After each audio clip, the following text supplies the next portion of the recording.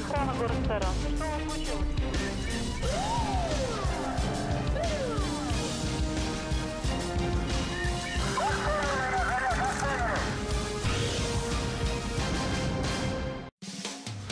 Информационный спонсор программы происшествия – радиостанция «Милицейская волна Саранск» 105 и 6 FM.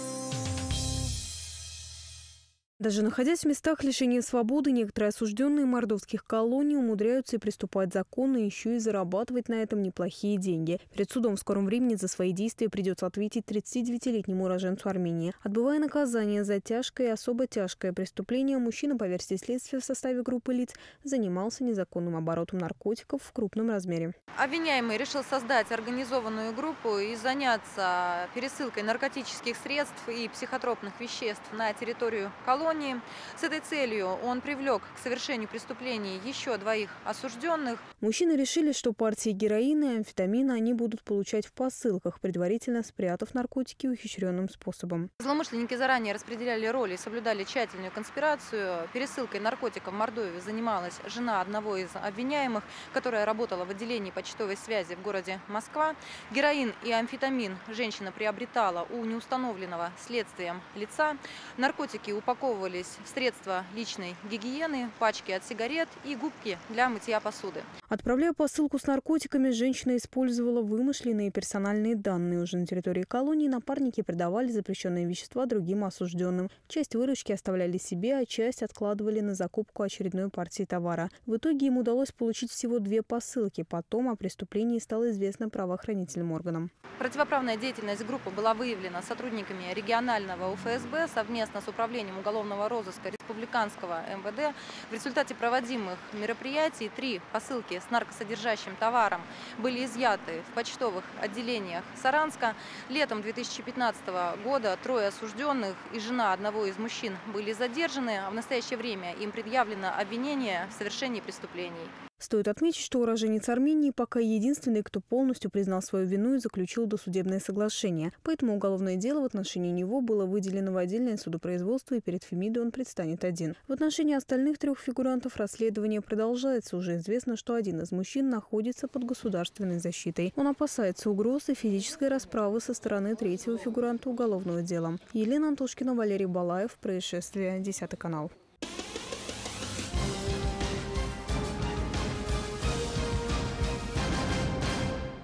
Девять административных протоколов за нарушение общественного порядка. Так, для болельщиков закончился матч чемпионата России по футболу с участием команд российской футбольной премьер-лиги «Мордовия. Крылья Советов», который состоялся 4 апреля на стадионе «Старт» в Саранске. Поболеть за любимый клуб и просто посмотреть игру пришли более трех с половиной тысяч человек. Для охраны общественного порядка в целом по городу Саранску обозначенный период задействовалось порядка 250 человек, э, в том числе непосредственно на спортивном объекте, стадионе «Старт», э, 13 сотрудников частной охранной организации. э, «Град» и э, 64 контролер-распорядитель стадиона «Старт». Еще до начала матча полицейские начали проводить профилактическую работу. Пронести запрещенные предметы на стадион было практически невозможно. При входе стражи порядка досматривали болельщиков, проверяли содержимое их сумок. Тех, кто перед матчем решил согреться алкогольными напитками, посмотреть на игру с трибун не смогли. Их на стадион не пускали. Однако уже после начала матча нарушители дали о себе знать. Задержано 8 болельщиков э, футбольного клуба «Крылья Советов», на котором в дальнейшем были составлены соответствующие административные э, протоколы, двое из которых э, являлись э, несовершеннолетними и были помещены в центр ЦВСНП Республики, МВД Республики Мордовия. Болельщики футбольного клуба «Крылья Совета» смогли пронести и использовали четыре фаера. Это яркое заявление о себе обернулось для них административными протоколами. Также к ответственности были привлечены два жителя Самары. Для того, чтобы получить именные футболки спортсменов, они выбежали на поле. И этот поступок безнаказанным не остался. Выявлять нарушителей полицейским помогает современная система видеонаблюдения. Все прав... правонарушения э, фиксируются на установленную видеосистему на спортивном объекте, после чего данные прав... правонарушители э, распечатываются их фотографии распечатываются и передаются сотрудникам, которые задействованы непосредственно в секторе. В целом, как отметили в МВД, матч прошел довольно спокойно. Групповых нарушений общественного порядка и чрезвычайных происшествий допущено не было. Дарья Берясева, Александр Данилов. Происшествие. Десятый канал.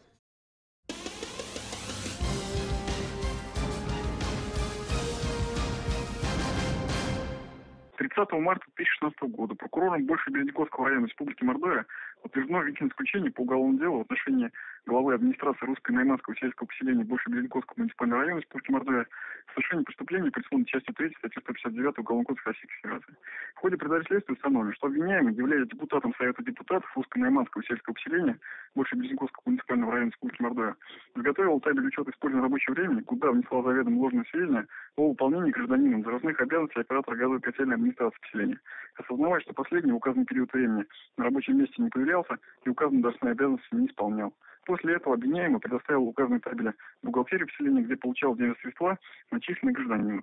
В результате преступных действий э, обвиняемые были похищены денежные средства в размере 13 166 рублей 61 копейки. 30 марта 2016 года уголовное дело направлено в Большой Березенковский районный суд Республики Мордовия для рассмотрения по существу. Олег Дешенков, помощник прокурора Большой Березенковского района Республики Мордовия.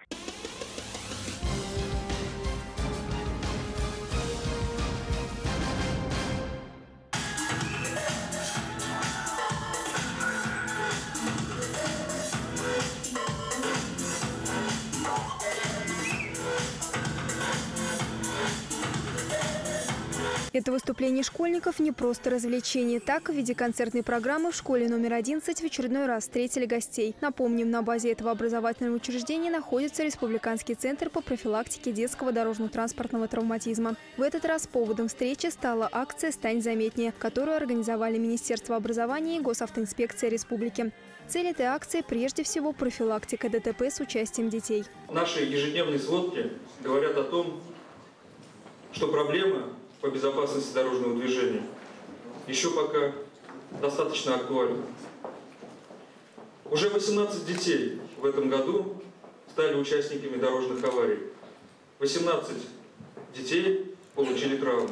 Госавтоинспекции и педагоги делают все, чтобы на дорогах дети чувствовали себя в безопасности. Эти знания прививают на специальных уроках, но добиться эффекта без практической части сложно. Наше государство заботится о том, чтобы в каждой школе, в каждом образовательном учреждении были соответствующие условия для того, чтобы мы смогли качественно обучать детей правилам поведения на дороге. Для того, чтобы дети на практике знали и понимали, как нужно действовать в той или иной ситуации. В рамках федеральной программы дошкольным образовательным учреждениям республики были выделены автогородки. С помощью них малыши смогут в игровой форме освоить основы безопасного поведения на дорогах. Кроме того, учащиеся начальных классах всех школ получили световозвращающие жилетки и браслеты.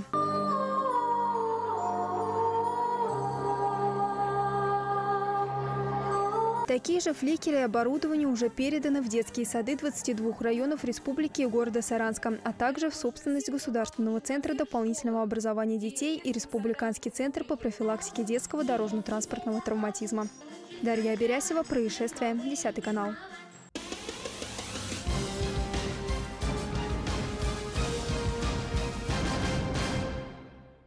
Четвертый отдел полиции Саранска по подозрению в совершении кражи разыскивает Иванова Максима Борисовича, 1990 года рождения. Граждан, обладающих информацией о местонахождении Иванова, просьба сообщить по телефонам 29 77 44, 29 77 01 или 102. Четвертый отдел полиции Саранска разыскивает подозреваемого в краже джойстика от игровой приставки из магазина электроники, расположенного по улице Миронова. Если вам что-либо известно о личности или местонахождении подозреваемого, просьба сообщить по телефону 29 77 01, 29 77 09 или 102.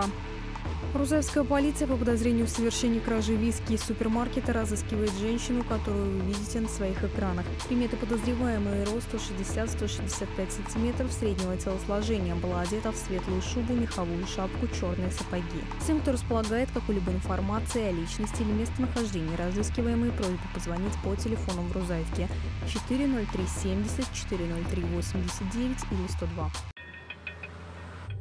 При первых каплях дождя или хлопьях снега даже незначительные вещи приобретают большое значение. Не обязательно уменьшаться до размера молекул, чтобы понять, сцепление с дорогой уменьшается. Следите за прогнозом. С первыми признаками непогоды будьте внимательны. Снижайте скорость. 105 и 6 FM. 105 и 6 FM. Эм. Милицейская волна.